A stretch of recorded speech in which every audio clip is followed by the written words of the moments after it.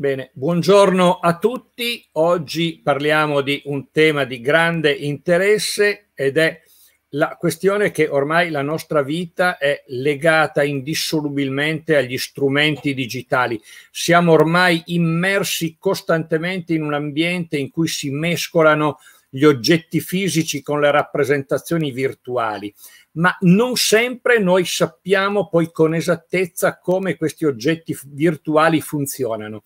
Bene, questi oggetti eh, funzionano grazie ad un codice sorgente. Che cos'è il codice sorgente? Il codice sorgente non è altro che un testo, un testo molto potente eh, che viene costruito usando un linguaggio di programmazione. I linguaggi di programmazione oggi sono ormai più di 8.000, mentre le lingue conosciute sono soltanto 7.000. Quindi abbiamo più linguaggi di programmazione che lingue effettivamente parlate. Quindi questo è un tema su cui merita fare una riflessione e noi facciamo questa riflessione con due grandi esperti di questo tema che sono eh, Stefano Penge che è un informatico e eh, Rodolfo Marchisio, già insegnante di scuola eh, di eh, secondaria di primo grado, eh, esperto di problemi legati alla educazione civica e alla didattica digitale e alla cittadinanza digitale. Perché parliamo con loro? Perché loro fanno parte di un'associazione che si chiama Codexpo e Codexpo è proprio l'associazione che sta organizzando, anzi che ormai ha organizzato e che sta eh, lanciando una importante iniziativa che partirà nei prossimi giorni e che è un festival della cultura del codice sorgente. È ehm, quasi certamente eh, la prima iniziativa di questo genere eh, a livello nazionale, quindi un festival del codice sorgente. Allora, eh, parliamone appunto con loro e, la prima domanda è allora ma che cos'è eh, Code Fest, che cos'è il, il Festival del Codice Sorgente? Stefano Penge, sentiamo.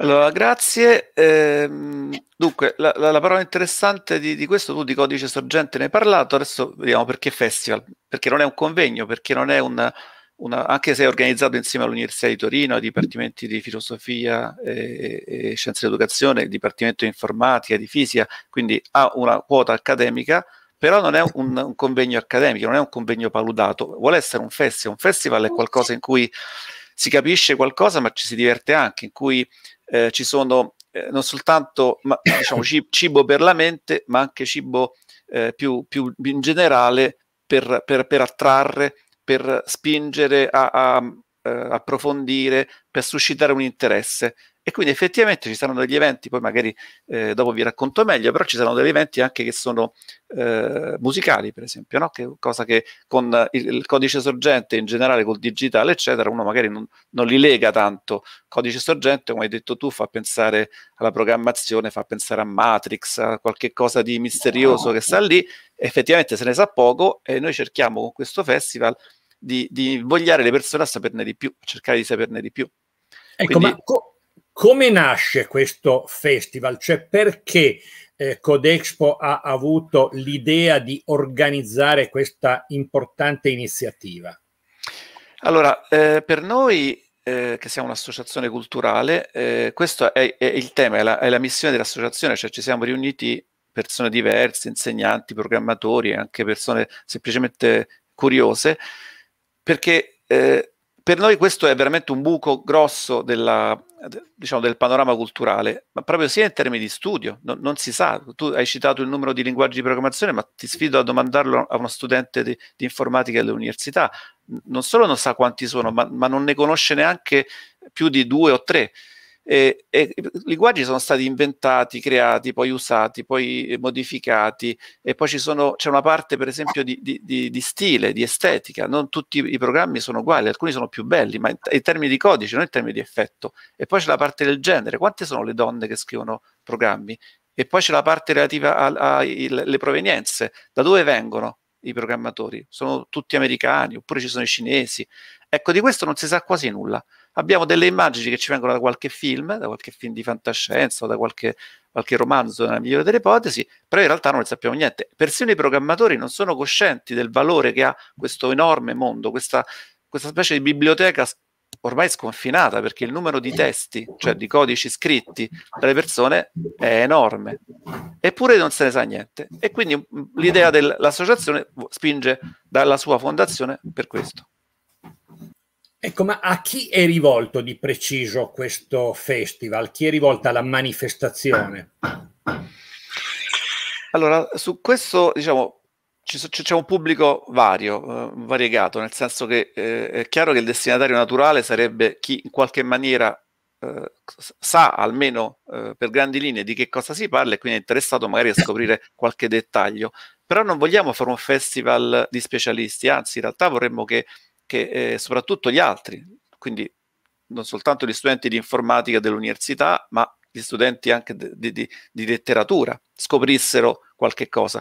E non soltanto gli studenti, ma anche i docenti, perché spesso neanche loro eh, ne, ne, sanno così tanto, ma anche tutte le persone in generale che sono curiose, cioè come uno va a sentire, non so se ci fosse il festival della lingua italiana, uno andrebbe a vedere che cosa diavolo è. Ecco, noi ci rivolgiamo comunque anche a tutti, il livello non è per forza eh, alto e con termini eh, specialistici, è un livello anche aperto in termini proprio di lessico, di, di, concetti, aperto a tutti. Forse Rodolfo magari vuole dire qualcosa ecco, di più. Ecco, ma è proprio qui che volevo arrivare. Ecco, ma per quale motivo però eh, il mondo della scuola dovrebbe essere interessato da una manifestazione di questo genere? Sentiamo proprio il punto di vista di chi nella scuola ha lavorato e continua a lavorare, cioè sentiamo Rodolfo Marchisio. Cosa ne dice? Allora, intanto preciserei che il festival è organizzato da Codespo, ma è un'iniziativa che nasce all'interno dell'Università eh, di Torino con capofila il Dipartimento di Filosofia e Scienze dell'Educazione, il Dipartimento di Fisica e di Informatica ed è un evento appunto, si diceva, aperto a tutti, cioè eh, tutti gli utenti che sono interessati in qualche modo eh, possono partecipare attraverso eh, il web. Eh, allora, qual è il rapporto eh, con il mondo? Perché, ecco, questa è una domanda che mi è stata posta, eh, cioè come un festival con personaggi internazionali, con eventi, con workshop, spettacoli teatrali, musicali, eccetera, potrebbe interessare il mondo della scuola. Allora, intanto il festival di per sé è rivolto a studenti, docenti, studiosi, sviluppatori, imprenditori, hacker, musicisti, artisti, ma anche al pubblico in generale di appassionati e di curiosi, essenzialmente tutti quelli che hanno voglia di guardare, di andare oltre il sipario, oltre quello che appare. Eh, quanto, aggiungerei alla tua domanda un'altra cosa, cioè quanto ne sanno e quanto ne vogliono sapere i giovani. L'impressione è che i giovani oggi vogliano, come tutti, usare le tecnologie, ma non si vogliano domandare, non facciano fatica di domandarsi che cosa ci sta dietro, come funzionano e così via. Allora sono coinvolti intanto studenti universitari, ovviamente, eh, in alcune iniziative, per esempio eh, quella del primo museo no? eh, che sarà mh, allestito o anche lo, lo, la performance artistica di Polello e così via. Allora, noi come, come Codespo abbiamo scelto di eh, lavorare con l'Istituto di Istruzione Superiore eh, Avogadro per appunto realizzare eh, con loro la mostra del codice sorgente come fenomeno linguistico, letterario, artistico che è un po' appunto, diceva Stefano prima, la nostra missione come associazione. Ma ci sono poi spettacoli come quello Ada su Ada Byron, no? la prima, eh, prima, donna a occuparsi di informatica proprio a Torino, se ricordo bene, all'inizio eh, del dell'Ottocento, che pone il problema del genere no? nel campo dell'informatica. Eh, un tema che sarà ripreso, tra l'altro, che può avere a che fare con la cittadinanza digitale, quindi con l'educazione civica, e che sarà ripreso poi l'8 eh, di eh, ottobre. Eh, eh, le osservazioni importanti sono che i contenuti di molti webinar eh, sicuramente possono interessare docenti di informatica, di matematica, di fisica, cioè in generale tutti quelli che si trovano a insegnare con dei dispositivi eh, digitali, per esempio la storia del software Apollo 11 o della calcolatrice elettronica pisana, la Babele, no, dei linguaggi di programmazione.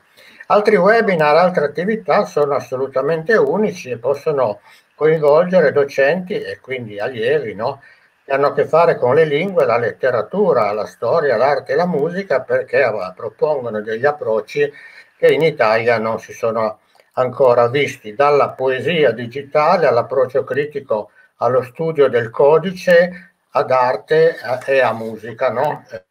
eh, c'è forte dimensione interdisciplinare. Ci sono poi eh, dei webinar che riguardano tutti, quello problema dell'open source o della conservazione dei programmi, dicevamo il ruolo delle donne nel campo della informatica e ci sono poi degli eventi che oltre a essere parte della cultura eh, digitale eh, sono eventi piacevoli, godi- eh, godibili da tutti, eh, in particolare alcuni rivolti agli allievi delle eh, scuole.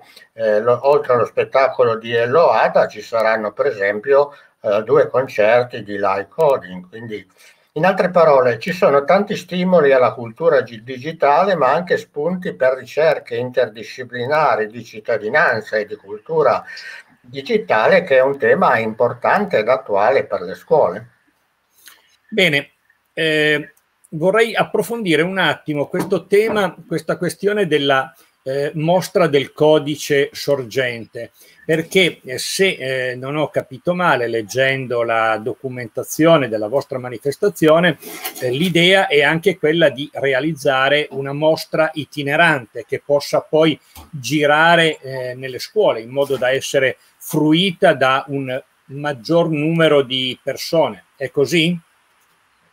Sì, diciamo che appunto, come è già stato detto, L'obiettivo della nostra associazione, che ha coprogettato e co-realizzato il festival con eh, alcuni dipartimenti dell'università, come fine sociale proprio quello di realizzare la prima mostra al mondo sul codice sorgente, eh, sottolineo ancora come fenomeno linguistico, letterario, artistico, culturale, quindi non solo come fatto tecnico per addetti ai lavori. Allora, in questa situazione abbiamo mh, deciso di lavorare appunto con a una versione online con eh, una decina di allievi dell'Istituto di Istruzione Superiore Avogadro di Torino in un percorso di PCTO, cioè quella che una volta era scuola lavoro, con lo scopo di approfondire la cultura e quindi la cittadinanza digitale nel mondo dei giovani e della scuola. Una decina di ragazzi ha lavorato più o meno fino verso Ferragosto e presenterà il 5 di ottobre alle 18.30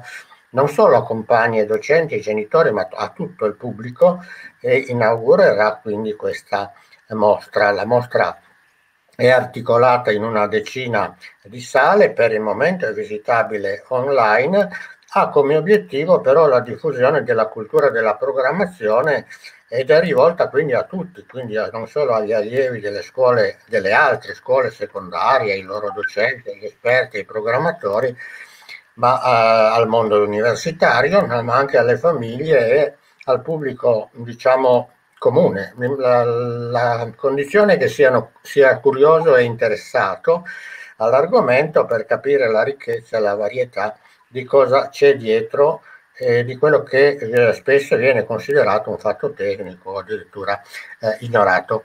Quindi, eh, se eh, abbiamo ben capito, eh, questo festival è un festival virtuale, cioè nel senso che si svolgerà online. però per il futuro voi vole- penso che vogliate fare anche delle cose fisiche, delle cose in presenza. Qual è il progetto? Eh, allora, come puoi immaginare, eh, se, forse non l'abbiamo detto, eh, il festival è stato progettato per essere eh, realizzato l'anno, l'anno, scorso, l'anno passato, e non è stato possibile per le ragioni che tutti sappiamo. Per chi ci vedesse dal 2030, stiamo parlando del, de, siamo nel 2021 e quindi eh, quello che è successo nel 2020 purtroppo è che nessuna iniziativa in presenza è stata possibile. Questo però no, non significa che non l'avessimo progettato così, in realtà erano, erano eh, pensate delle iniziative laboratoriali in cui veramente i ragazzi dell'università e altri ehm, si, si, mettessero proprio insieme in una stanza per fare dei lavori insieme, per leggere il codice sorgente insieme, per, per recitarlo, per smontarlo, per scoprire come funzionano questi linguaggi esoterici che, che, di cui nessuno sa niente, magari fare anche insieme delle cose.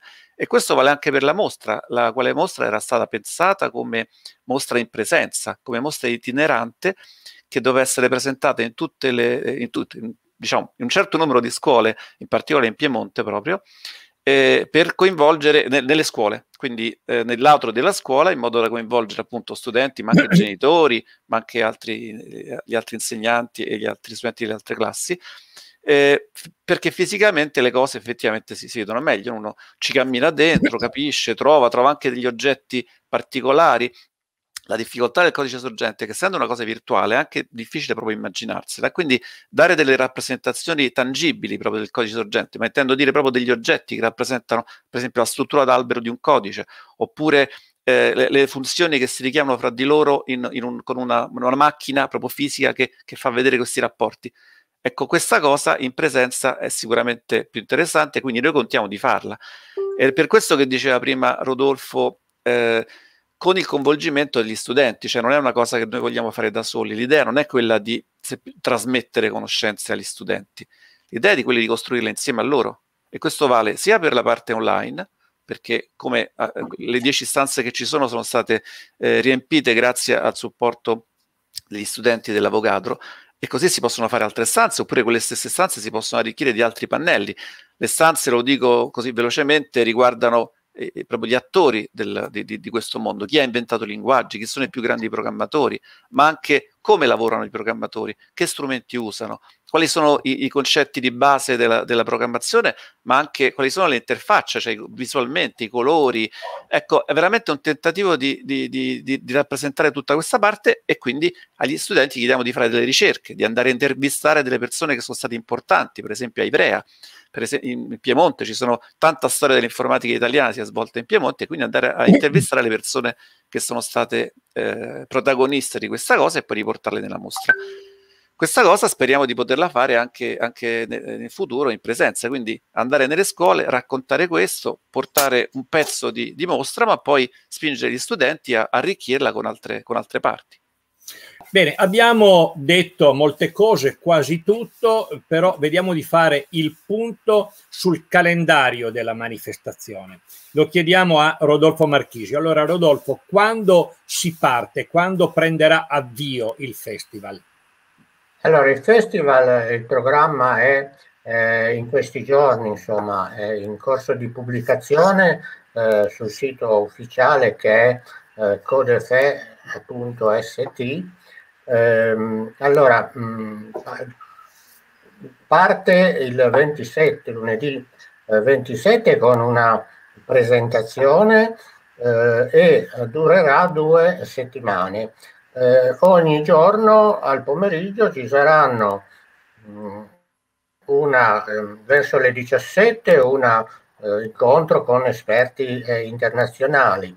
Eh, a seguire ci saranno delle attività, dei laboratori, delle eh, performance e così via e eh, ci saranno poi eh, in orario serale verso le 21 eh, spettacoli eh, teatrali come il eh, concerti e live coding e quindi ci saranno una serie di iniziative per 15 giorni.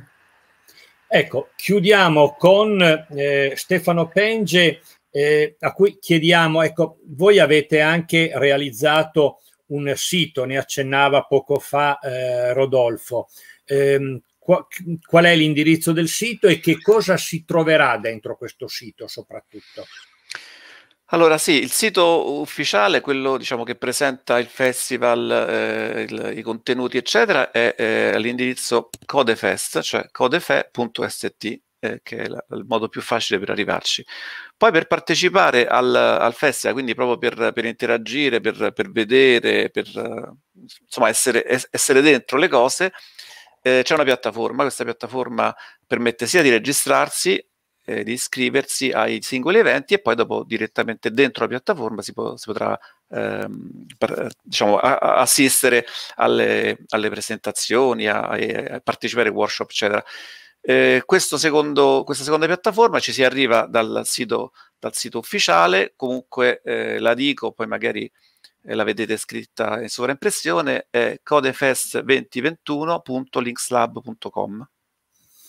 Bene, allora eh, molti auguri per questa interessante e se mi permettete anche un po' curiosa iniziativa perché non sempre si parla appunto di eh, codice sorgente di linguaggi di programmazione nei termini in cui voi avete deciso di parlarne. Eh?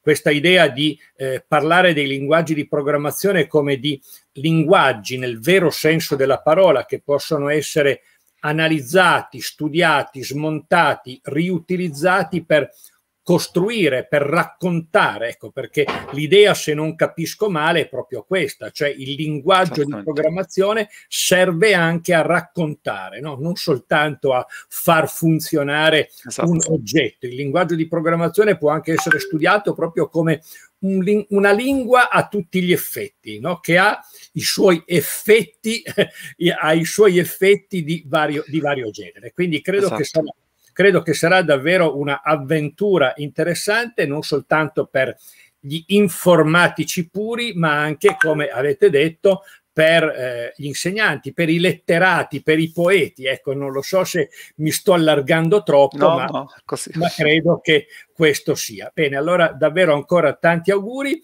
eh, per l'iniziativa. Ricordiamo, si parte il 27 settembre, si va avanti per 15 giorni consecutivi con mh, iniziative, eh, laboratori, attività di vario genere. Eh, sul sito Codefest trovate tutte le informazioni per poter partecipare. Grazie ancora a Stefano Penge e a Rodolfo. Grazie a te. Grazie a te.